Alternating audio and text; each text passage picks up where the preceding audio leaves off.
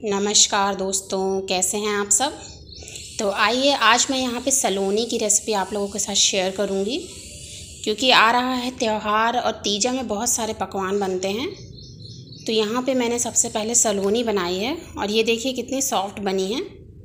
तो यहाँ पे मैंने सबसे पहले इसके लिए ले लिया है एक किलो मैदा और उसे मैं बहुत अच्छे से छान लूँगी, ताकि इसमें जो भी थोड़ा मोड़ा कचरा हो तो वो निकल जाए। सलोनी बनाना बहुत ही आसान रहता है और ये खाने में भी बहुत अच्छी लगती हैं।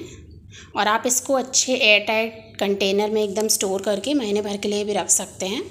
ये एक प्रकार का स्नैक हो जाता है जो अपन चाय के साथ भी इंजॉय कर सकते हैं। तो यहाँ पे मैंने मैदा छान लिया है और अब मैं इसमें डाल दूँगी कलौजी। तो कलौंजी मैंने बहुत मतलब थोड़ी ज़्यादा ही डाली है, क्योंकि कलौंजी इसमें बहुत अच्छी लगती है।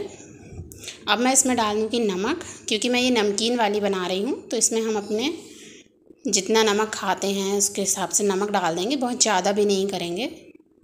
और मैं इसमें डाल दूँगी कम से कम दो तीन बड़े चम्मच ऑयल मोयन के लिए। तो अब मैं इसको यहाँ पे बहुत अच्छे से हाथों से मिक्स कर दूँगी सारी चीज़ों को। और इसमें मैंने बिल्कुल एक पिंच के करीब डाला है सोडा। अब मैं इसे बहुत अच्छे से मिक्स करने के बाद अच्छे से गूँथ लूँगी। और ये देखिए, यहाँ पे थोड़ा थोड़ा पानी डालते हुए मैं इसको बहुत अच्छे से गुथ रही हूँ आटे को। और यहाँ पे देखिए, हमारा आटा बिल्कुल तैयार है। तो ये देखिए, ये इतना सॉफ्ट होना चाहिए। और अब मैं इसे कम से कम चार पाँच मिनट के लिए, रेस्ट के लिए रख दूँगी ढाँक के। जब तक हम साइड में यहाँ पे चढ़ा लेते हैं तेल और तेल को हमको मीडियम टू लो फ्लेम में रखना है। हमें इसे बिल्कुल हाई नहीं करना है और गरम भी हमें मीडियम टू लो फ्लेम में ही होने देना है। तो जब तक हमारा तेल गरम हो रहा है, आइए हम अपनी सलोनी काट लेते हैं। तो यहाँ पे जो आटा हमने रेस्ट के लिए रखा था, उसे मैं एक बार और अच्छे से अच्छे से गूँथ लूँगी। और अब मैं इसको एकदम पतला बेल लूँगी, जितना मेरा पटा है ना, उस हिसाब से मैंने इसको बेल लिया है, उतना ही बड़ा। आपको अगर मोटी रखनी हो तो आप उस हिसाब से इसको बेल लीजिए। तो यहाँ पे देखिए जितना बड़ा मेरा पटा है ना, मैंने उसी हिसाब से इसको बेला है। और अब मैं इसे चाकू की मदद से काट लूँगी। अगर आपको मेरा चैनल पसंद आता है तो आप इसे प्लीज़ लाइक, शेयर और सब्सक्राइब ज़रूर कर दीजिएगा। और आपको मेरी रेसिपीज़ कैसी लगती हैं, मुझे कमेंट करके ज़रूर बताइएगा। तो अब मैं चाकू की मदद से इसको काट लूँगी। तो मैंने यहाँ पे इसको थोड़ा अलग टाइप का शेप दिया है। तो ये देखिए मैंने इस हिसाब से इतना पतला इसको रखा है।